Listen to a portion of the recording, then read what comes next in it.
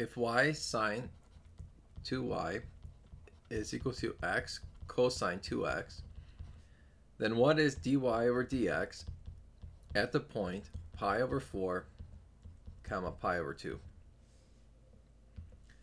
Well, we need to take the derivative with respect to x here. And to do that, we have to use a product rule. So take the derivative of y with respect to x to get dy over dx times sine of 2y plus take the derivative of sine of 2y and get 2 cosine 2y dy over dx times y plus or equals now we're going to look at the derivative of the right side. The derivative of x is 1 times cosine 2x now take the derivative of cosine 2x and get negative 2 sine 2x and then multiply it by x at this point I could just plug in I don't need to solve for dy over dx just yet so if I plug in x and y, I'm going to have coefficients of dy over dx, and so then I can easily factor.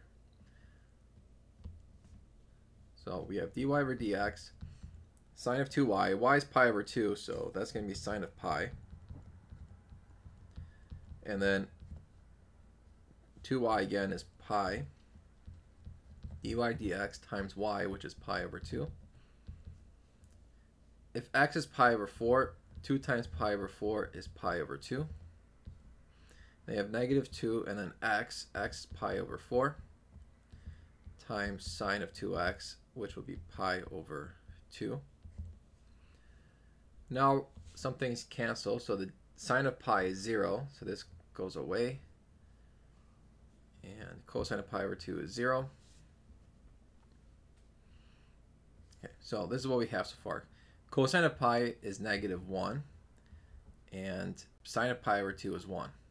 So we have 2 times negative 1, yeah, 2 times negative 1 is negative 2, times dy over dx, times pi over 2, is equal to negative 2 pi over 4, which is pi over 2, and then times 1.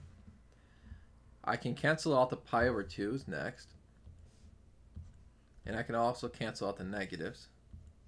So I have 2 times dy over dx is equal to 1. So dy over dx is 1 half. And that is my answer.